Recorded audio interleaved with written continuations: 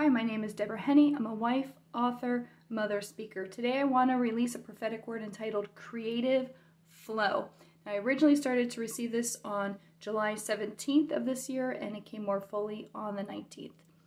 Um, and the sense with this was that there were like a lot of inventions and specifically in energy that God is going to be releasing. But what I felt him say is I am releasing creative flow into my people. New inventions and innovations will spring forth as my people flow with my spirit in my creative flow. Businesses will be planted and strengthened. New and existing businesses dedicated to me will grow and flourish as my people seek my face and my purposes for the positions I have placed them in. I will remove blocks that hinder the outpouring and the movement of the flow. There, there will be an unblocking some are areas of self hardened calluses, others are deep and gaping wounds, and holding on to an image of self I have not ordained for each one.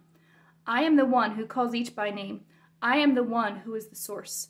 I've designed each one and have de- designated each one to bear my image to cause a rippling of my imprint through each one. Do not call yourself what I have not called you. I have called you blessed. I have called you creative. I have called you restored. I have called you to great multiplication and even multiplici- multiplicity. Sorry, I can't even pronounce that word. So I looked that word up. And in that definition, according to the dictionary, there were energy levels and numbers of system components. And that um, particular aspect of the definition was really highlighted to me in relation to this word. So, great multiplication and even multiplicity.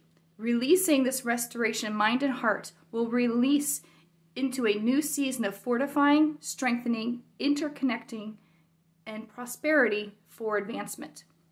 I will bring about a wholeness that will result in blessings, blessings for the purpose of pouring out, even as a drink offering for the advancement of my kingdom.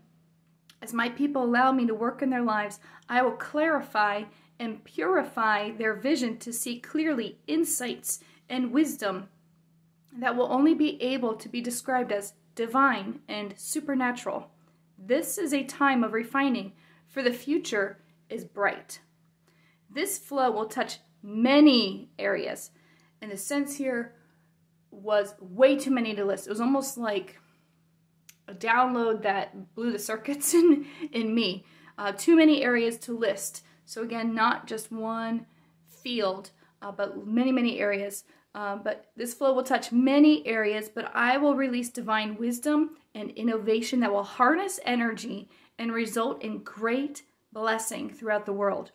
For this, there will be a partnering, coordination between people and even countries, coordinates, precision, reflection, and direction of control it was interesting how he kind of just gave me those individual words one at a time. They each felt very significant uh, in relation to this creative flow, in relationship to this energy, um, and this uh, blessing in divine, supernatural wisdom, insight, and inspiration for energy.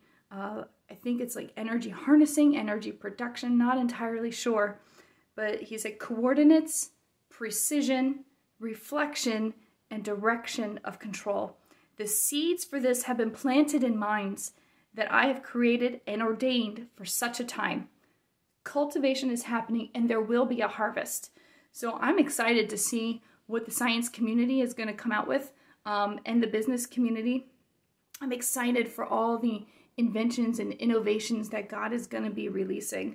Um, we'll see what, what winds up happening uh, but it certainly is uh, exciting. Um, and yeah, I, guess I don't know how much more there is to say about that other than it, it'll be interesting. And I'm very curious to see what winds up happening uh, in these sectors. All right, till next time.